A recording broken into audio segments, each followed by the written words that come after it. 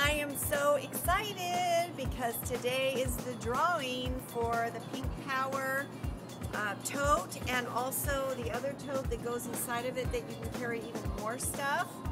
And this drawing is for those that did recruiting this month. It was a sponsoring contest for the person that sponsored and then also for if you your distributor, your new distributor was a qualifying distributor, meaning that they placed their 300 PB order.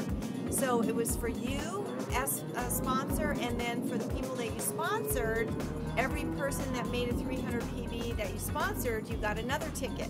So that's pretty cool, huh? All right, so look at all these names. Oh my gosh, can you see in here? Tony Joe is videotaping this for me. And we are outside on this beautiful sunny Las Vegas day. I mean, there's there's a lot. There's a lot of names in here. So I'm excited to be able to draw the person that's going to win this. This is a great business tool and you'll really appreciate having these bags. You'll be able to find a lot of different ways to use them, especially for demos, to bring your stuff into people's houses when you're when you're schlepping your SeneGence. okay, so anyways, here we go. Here, I'm not gonna look, I'm not gonna look, I'm not gonna look. Okay, here is one name. What's the name? The name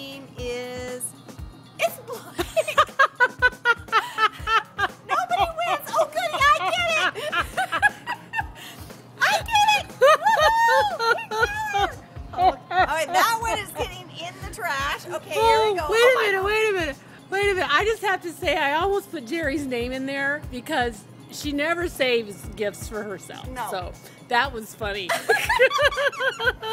okay, here we go, here we go, here we go. I'm not gonna look, I'm not gonna look.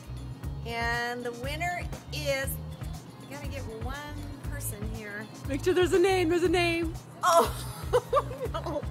Oh my gosh, this is hysterical.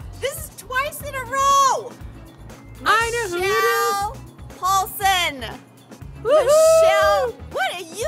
What is this? North Dakota luck or something? Look at all these names in here. And Michele won again. Michele, you are hooked up with pink power stuff. Oh my gosh, you got your office all set in pink now, and now you got your pink power bag. You are good, girl. Well, you deserve it because you worked hard, and that's why you had so many names in here.